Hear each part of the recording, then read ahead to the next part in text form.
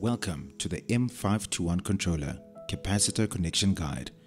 In this video, we will demonstrate how to connect a capacitor to your M521 controller.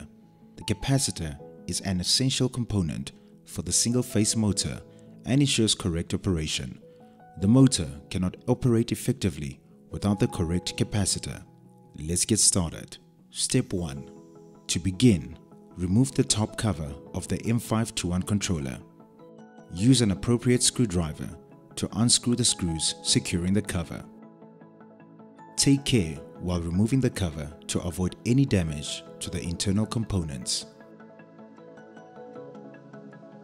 Step 2. Insert the capacitor into the controller. Ensure that the capacitor is securely placed and properly aligned with the internal components. Step 3. Connect the capacitor cables to the top connection ports above terminals L1 and C.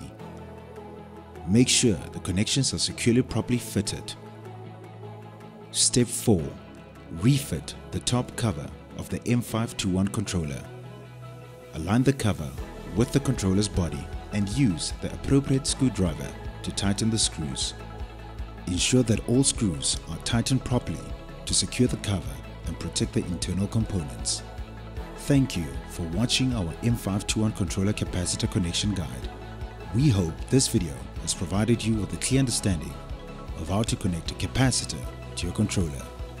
If you have any questions or need further assistance, please leave them in the comments section below.